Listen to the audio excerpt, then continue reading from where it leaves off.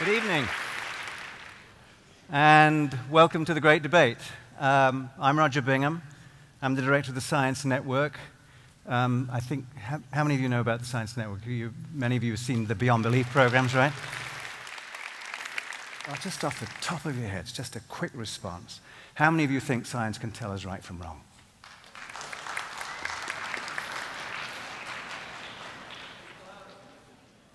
And how many of you don't think science can tell us right from wrong? Well, that means that the panel has a little work to do this evening, by the sounds of it. By the sounds of it. When you came in, you were given um, a, a flyer. You also had a question for panelists form in there. If you do have a question for the panelists, would you please think about filling it in as we go through this? And during the intermission, when it comes up, take it down there to the corner. There'll be a lady standing there. If you give her the questions, then I'll, I will look through them and pick the ones that I think will be least offensive. Um, no, no, I'm sorry. I was here last, actually, uh, in, in, April last year. I think it was a year ago, um, for the Origins, the big Origins um, meeting that was put on. Lawrence Krauss, of course, is a member of Science Network's advisory board, a big uh, influence on this Origins project, director of the Origins project, and we had enormous fun. You can see all of the Origins stuff on the Science Network, and it was so great to actually be collaborating with, with ASU again. I, I thoroughly admire what this place stands for. Um, there's a long interview with Michael Crow on the Science Network as well, if, if you want to see it. And a number of the people who are going to be um, with us this evening um, were involved in that, in that Origins project as well. So to go from that sort of interdisciplinary thing to now doing something with, with, with, the, with the School of Law, the Center for Law, Science, Innovation, um, is, is a great delight. And I'd like to think, thank uh, James Weinstein, Jim Weinstein, for being such a wonderful um, organizing force. Um, and allowing Science Network to come and poach on his party, which is really nice of you, Jack. Um, I'd also like to thank Simon Blackburn uh, from the University of Cambridge, Faculty of Philosophy, who was one of the organizers. And, of course, um, as I've been instructed by Lawrence Krauss, I have to thank Lawrence Krauss. So this is most important. Um, ASU's Origins Project, by the way, is sponsoring this event as part of its ongoing research and public programming uh, to explore all aspects of human and cosmic origins. And um, I, I, expect there will be future events, and we're looking forward enormously to doing some of these things.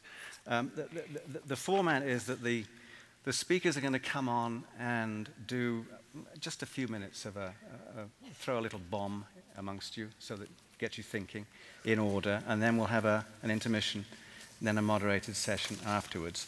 Um, some of these topics, uh, I think, are just hugely important at this point. Um, I'd like to bring the people on um, shortly, but I also want to alert you that there was in the 16th of October issue of New Scientist, there was an opinion special. I don't know if any of you saw it. Science Wakes Up to Morality. This is a very timely piece. And it said here, the first paragraph uh, was morality. Um, we've long thought of moral laws as fixed points of reality, self evident truths rooted in divine command or in some platonic realm of absolute rights and wrongs. But new research is offering an alternative, explaining moral attitudes in the context of evolution, culture, and the neural architecture of our brains. This apparent reduction of morality to a scientific specimen can seem threatening, but it needn't be. Rather, by unmasking our minds as the authors of morality, we may be better able to bend its narrative arc towards a happy end. You're, you're, obviously not convinced from your, from your initial show of hands. Let's see if things change during the course of the, of, of the evening. People are going to come on in, in, in reverse order. So let me now invite uh, the panelists on. Please uh, welcome Steven Pinker from Harvard University.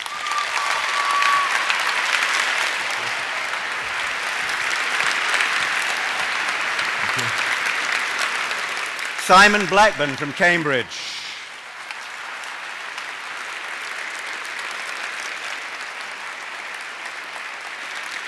Uh, Lawrence Krauss from the director of the Origins Project here at ASU.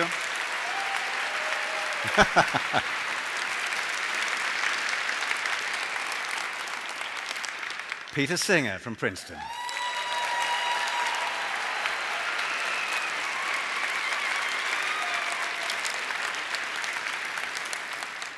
Patricia Churchland from UCSD.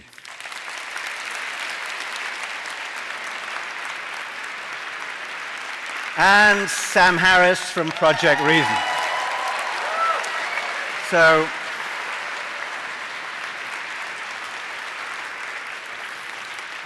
uh, very briefly, so that we can get into the, the uh, most of these people don't, I mean, they don't need an introduction, but just to remind you that, that um, Sam um, had those wonderful best-selling books, The End of Faith, Letter to Christian Nation. He has a book out right now called The Moral Landscape, so it seemed very fitting that uh, he sets the stage um, with his PhD in neuroscience as well, um, since we're talking about whether science can do this job, um, and, and, get us on the road. Thank you so much. Good to see you.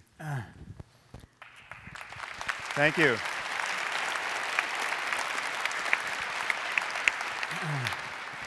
Thank you. Well, it's, it's really an honor to be here and an honor to be in this company, needless to say.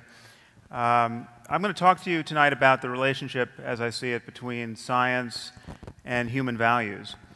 Uh, and this is the subject of my current book, The Moral Landscape. Now, many people think this relationship is somehow problematic, uh, usually because they think that the universe is parceled into these separate quantities. On the one hand, we have facts, which obviously science can deal with. But on the other, we have values, which inconveniently for us cover the most important questions in human life, and it's thought science really can't touch these. Questions of right and wrong and good and evil, uh, questions about really the, the really the, the, the, core issues of how to raise our children, what proper goals we should strive for in life.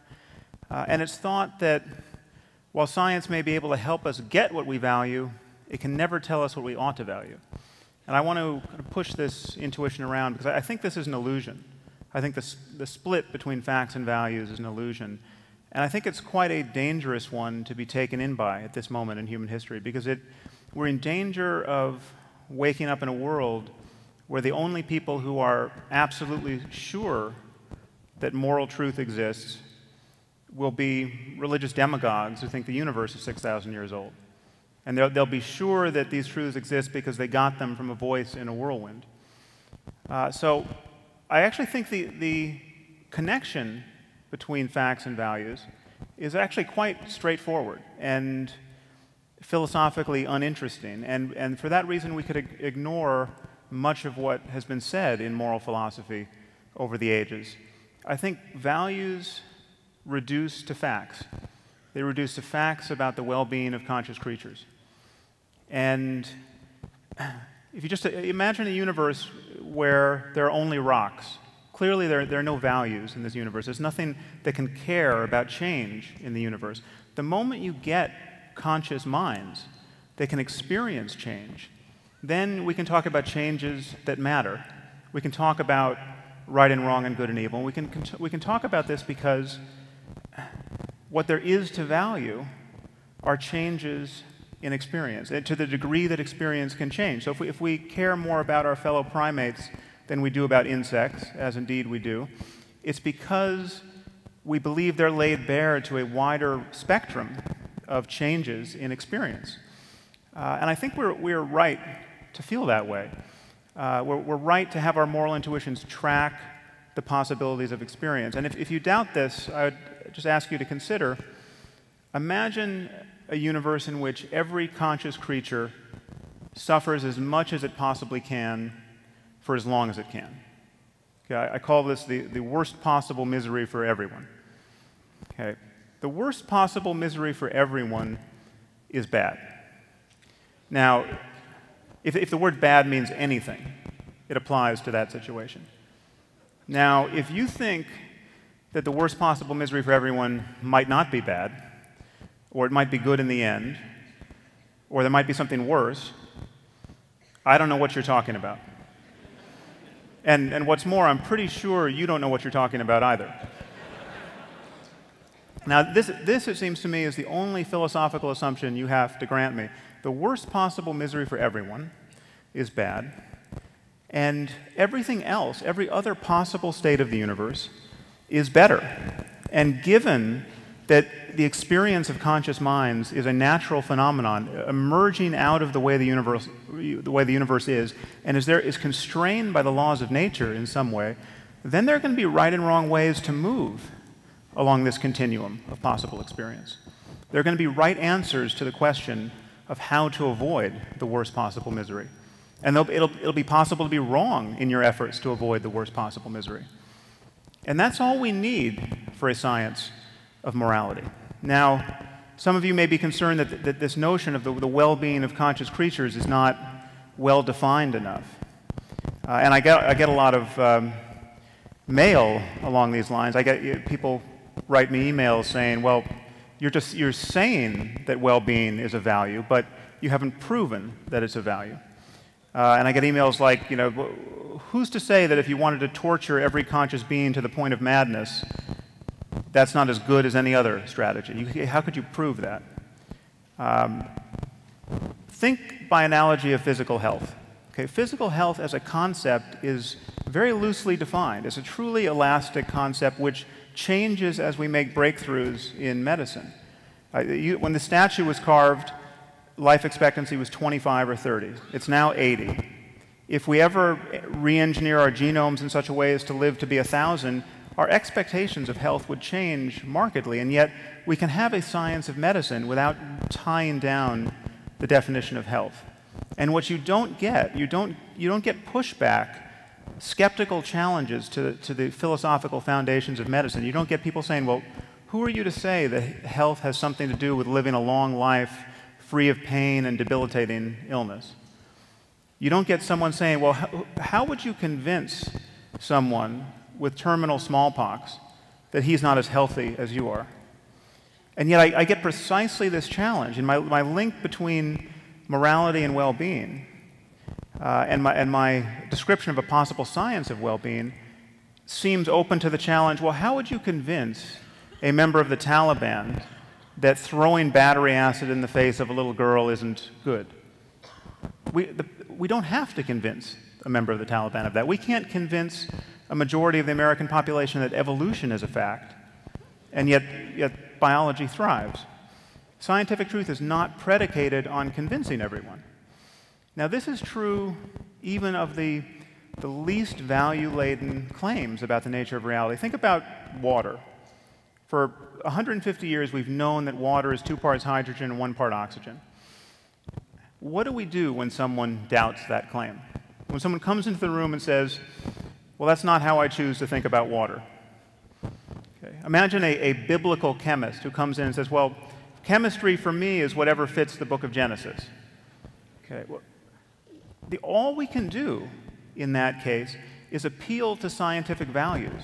The, the, the most basic scientific fact relies on the value of understanding the universe the value of respect for evidence. I mean, what evidence could we put forward? If someone doesn't respect evidence, what evidence could we put forward proving that they should? If someone doesn't respect logical consistency, what logical argument can we put forward? And so too with parsimony and, and intellectual honesty and mathematical elegance in other areas of science. I mean, this is, these are values. Science is in the values business. So the most basic facts about the nature of reality can't be asserted without a tacit appeal to value. So the valuing, uh, avoiding the worst possible misery for everyone doesn't seem like a leap. And clearly there's a continuum of facts that relate most directly to human well-being, about which we can, ha- we can form true or false beliefs. And there's something to be understood about how we can escape a failed state, for instance, as Somalia uh, is and was. This, this photo is from the 80s. But uh, I mean, think of Congo at this moment, where everyone's daily concern is avoiding being raped and killed by drug addled soldiers. There's, there's something to be understood about how societies fail, about how people fail to collaborate. And movement on that continuum is non random toward a place very much like the one in which we're living at the moment. And this, the requisites of human well being can clearly be understood on many levels. We're talking about the genome, we're talking about states of the human brain, and we're also talking about economic systems and political arrangements. But each of these levels granted, they're, they're, the, the, details are complex, each falls into one of the, the familiar bins of science. We're talking about genetics and neurobiology and psychology and sociology and economics. This captures the, our possible discussion about the real causes of, of human and animal well-being.